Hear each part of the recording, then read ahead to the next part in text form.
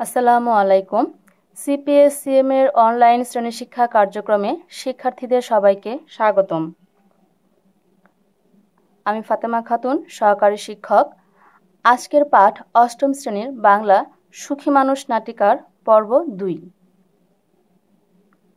সুখী মানুষ নাটিকাটি লিখেছেন মমতাজউদ্দিন আহমদ। অনুধাবন ও সৃজনশীল প্রশ্ন নিয়ে আজকের আলোচনা। অনুধাবনমূলক যে সমস্ত প্রশ্নগুলো হতে পারে, এর মধ্যে রয়েছে, মোরল একটা কঠিন লোক হাসু কেন এ কথা বলেছে? মনের মধ্যে অশান্তি থাকলে ওষুধে কাজ হয় না, ব্যাখ্যা করো। মানুষ এবং প্রাণী অমর নয়, ব্যাখ্যা করো। লোভে পাপ, পাপে মৃত্যু, ব্যাখ্যা করো। সোজা নয়, খুব কঠিন কাজ। কে কেন এ কথা বলেছে? চলো এবার দেখে নেই, অনুধাবনমূলক প্রশ্নের উত্তরসমূহ কীভাবে আমরা লিখব। মোরল একটা কঠিন লোক। হাসু কেন কথা বলেছে? এটি একটি অনুধাবনমূলক প্রশ্ন। আমরা জানি, অনুধাবনমূলক প্রশ্নের প্রথম অংশে এটির জ্ঞানমূলক অংশ লিখতে হয় এবং এটি এক বাক্যে লিখতে হবে।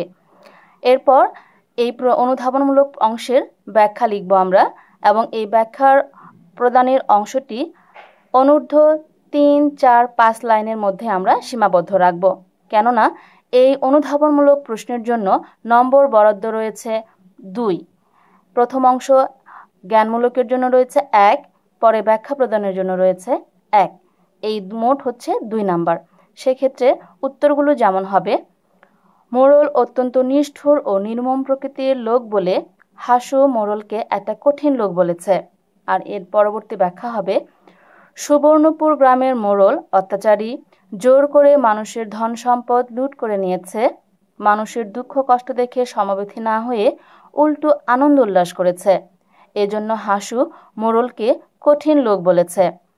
এর পরবর্তী প্রশ্নটি হচ্ছে, মনের মধ্যে অশান্তি থাকলে ওষুধে কাজ হয় না, ব্যাখ্যা করো।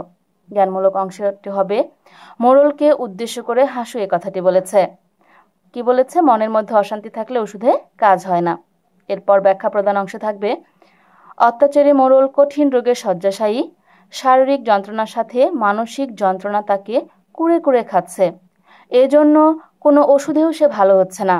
আর এ কথা বোঝাতেই হাসু মোরলকে উদ্দেশ্য করে আলোচুক্তিটি করেছে। পরবর্তী প্রশ্নের উত্তরটি হচ্ছে, প্রশ্নটি হচ্ছে, মানুষ এবং প্রাণী অমর নয়।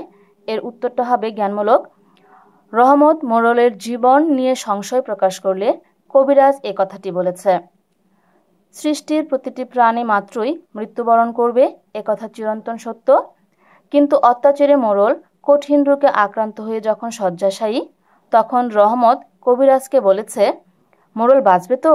আর এ প্রসঙ্গে কবিরাজ বলেছে, মানুষ এবং প্রাণী অমর নয়।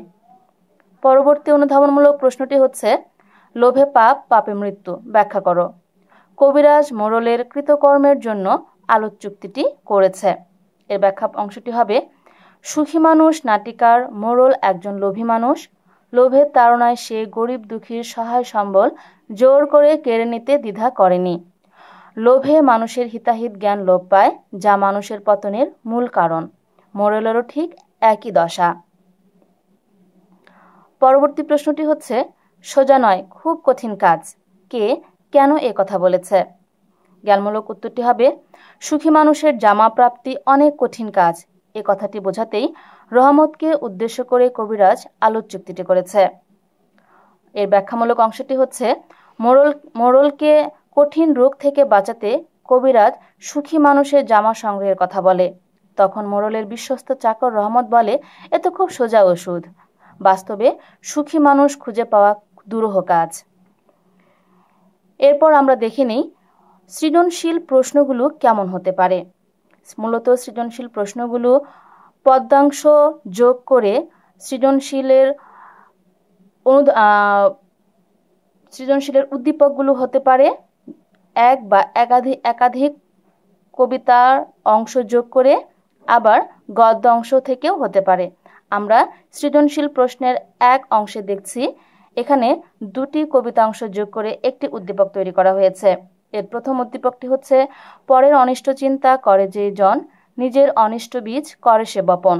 মূলত এই উদ্দীপকের মধ্য দিয়ে যে অসৎ এবং অন্যায় চিন্তা করে, সে নিজেই তার ফল ভোগ করে। এই হচ্ছে এই অংশটির মূল মূল ব্যাখ্যা। আর পরের অংশটির মূল ব্যাখ্যা হচ্ছে যে, এই পৃথিবীতে সবাই সর্বগুণে গুণান্বিত নয়। এর জন্য নিজেকে নিয়ে বিব্রত হওয়ার কিছু নেই। বরং আমরা প্রত্যেকে যে আমাদের মাঝে যে গুণাবলীগুলো রয়েছে, তা দিয়েই আমরা একে অপরের সাহায্য সহযোগিতা করতে পারি। আর এভাবেই পৃথিবী হয়ে উঠবে অনেক সুন্দর। আমি দুটি কবিতাংশের মূল অংশটুকু বলে দিলাম। মূলত এই ব্যাখ্যা, এই মূল অংশটাকে ভিত্তি করেই আমরা সৃজনশীল প্রশ্নের প্রয়োগ এবং উচ্চতর দক্ষতার প্রশ্নের উত্তরগুলো লিখতে পারব। এই অংশে যে জ্ঞানমূলক, অনুধাবনমূলক প্রয়োগ এবং উচ্চতর দক্ষতার প্রশ্নগুলো সন্নিবেশিত হয়েছে, তা তোমরা দেখতে পাচ্ছ। প্রথম জ্ঞানমূলক প্রশ্নটি হচ্ছে, মোরলের কোন রোগ হয়েছিল? অনুধাবনমূলক প্রশ্নটি হচ্ছে, আমার মনে দুঃখ কেন? বুঝিয়ে লিখ। তিন নম্বর প্রয়োগমূলক অংশটি হচ্ছে, এক নং উদ্দীপকের সাথে সুখী মানুষ নাটিকার কোন চরিত্রের মিল রয়েছে? ব্যাখ্যা করো কিংবা নির্ণয় করো, এমনটি হতে পারে। তিন নম্বরের ক্ষেত্রে আমরা কি দেখতে পাচ্ছি? প্রথম উদ্দীপকটি ছিল সুখী মানুষ নাটিকার মোরল চরিত্রের সঙ্গে মিলে যাবে। শিক্ষার্থীরা, তোমরা আশা করি সহজে এই অংশটি বুঝতে পারবে। আর চার নম্বরমূলক প্রশ্নের উত্তরটি অংশটি রয়েছে।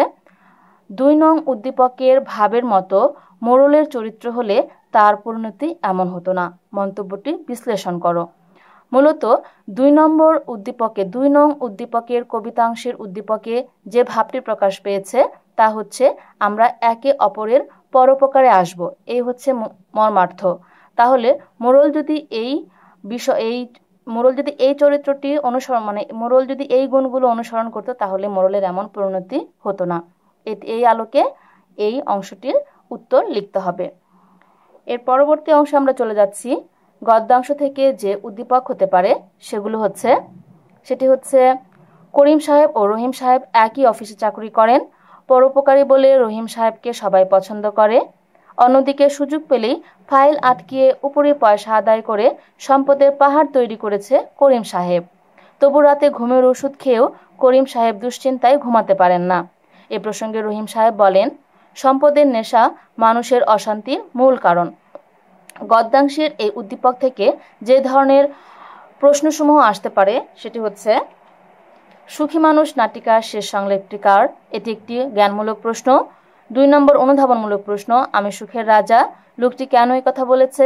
তিন নম্বর প্রয়োগমূলক প্রশ্নটি হচ্ছে, উদ্দীপকের করিম সাহেবের সাথে সুখী মানুষ নাটিকার কোন চরিত্রে সাদৃশ্য রয়েছে? আমরা উদ্দীপকে দেখতে পাচ্ছি, করিম সাহেব একজন অসৎ লোক। সে দুর্নীতি করে মানুষের ফাইল আটকিয়ে অবৈধভাবে টাকা উপার্জন করে। এর সঙ্গে কিন্তু কার মিল রয়েছে? শিক্ষার্থীরা, তোমরা সহজে অনুমান করতে পারছ। সুখী মানুষ, নাটিকার মোড়ল চরিত্রের সাদৃশ্য রয়েছে। চার নম্বর প্রশ্নের উচ্চতর দক্ষতার প্রশ্ন যেটি রয়েছে সেটি হচ্ছে, অর্থ সম্পদের নেশা মানুষের অশান্তির মূল কারণ। উদ্দীপক ও সুখী মানুষ, নাটিকার আলোকে এ মতের মূল্যায়ন করো। মূলত এখান থেকে আমরা দেখতে পাচ্ছি, মোড়ল অসৎভাবে অনৈতিকভাবে মানুষের সম্পত্তি জোরপূর্বক কেড়ে নিত বলেই তার মনে অশান্তি এবং এ কারণে তার কি হয়নি? ওষুধেও কাজ হয়নি। তাহলে আমরা বুঝতে পারছি যে উদ্দীপকের কোন চরিত্রের সঙ্গে কোন চরিত্রের সাদৃশ্য এবং বৈসাদৃশ্য হবে এবং অর্থ সম্পদের নেশা সম্পদের নেশা মানুষের অশান্তির মূল কারণ কেন এই কথাটি বলা হয়েছে এবং কীভাবে এটি মোরল চরিত্রকে নিয়ে ব্যাখ্যা করতে হবে? আশা করি তোমরা এটি লিখতে পারবে। আর তোমাদের জন্য বাড়ির কাজ থাকবে এক নম্বর সৃজনশীল প্রশ্নটি অনুশীলন। শিক্ষার্থীরা, আমরা বর্তমান সময়ে যে একটি সংকটময় মুহূর্ত পার করছি, এ থেকে রক্ষা পাওয়ার জন্য ঘরে থাকার কোনো বিকল্প নেই। আশা করি তোমরা বাড়িতে অবস্থান করবে এবং ভালো থাকবে। তোমাদের সবাইকে অনেক অনেক ধন্যবাদ। আল্লাহ হাফেজ।